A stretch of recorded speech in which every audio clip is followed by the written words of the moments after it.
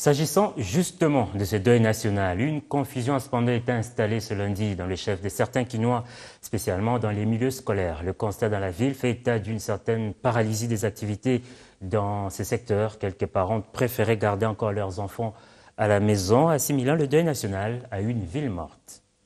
Les échos de la pluie, pour y revenir encore, sont plus que néfastes. Tenez, pour illustration, la pluie d'hier qui, durant son passage, a laissé les habitants du quartier Bolikango sans abri.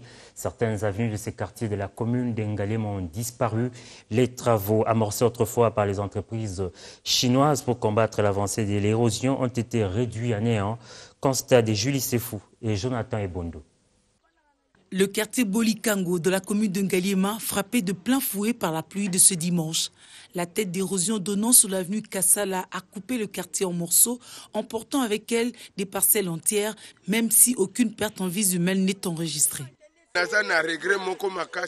Mon regret est profond ici au quartier Bolikango de la commune de Ngalima, dit-il. Regardez, une seule pluie a suffi pour engloutir tous les efforts fournis par les Chinois afin de réhabiliter ce trou. Le creux est plus profond qu'avant même les travaux. Où irons-nous? Le gouverneur de la ville devrait venir ici voir de ses propres yeux la souffrance de ses frères.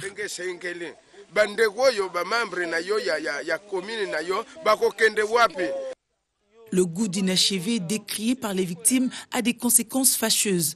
Des propriétaires des maisons réduits en locataires et des locataires dépourvus de garanties locatives. Pourtant, le pire aurait pu être évité si les travaux amorcés étaient exécutés jusqu'à la fin. Qu'on ramène ici les engins qui sont plus hauts vers l'église kimbangiste pour emblayer ce trou. Autrement, les gens ne pourront plus traverser d'ici pour arriver au parking.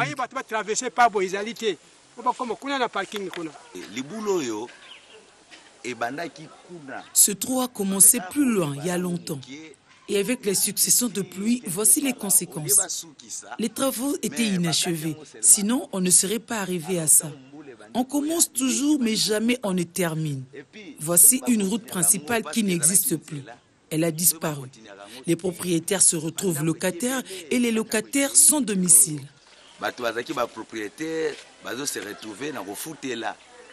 Dans l'impasse, les habitants se substituent en agents de construction et proposent des pistes de solutions durables pour contrer la percée de l'érosion.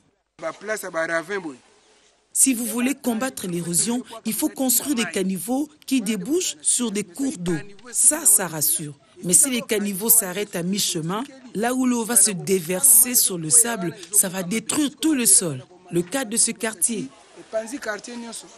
Tout ça, c'est causé par le non-entretien des routes, des routes internes. Quand les routes sont nues, il y a des érosions et les érosions occasionnent, occasionnent des, des catastrophes de ce genre. Bolikango, quartier jadis appelé présidentiel, car il abrite l'hôpital initié par le maréchal Mobutu, lui aussi inachevé, et une des zones érosives très sensibles, plusieurs fois coupées du reste de la capitale, qui résiste à la disparition grâce aux multiples efforts des habitants et autres personnes de bonne foi. Les interventions solidement planifiées de l'État seront d'une importance salvatrice.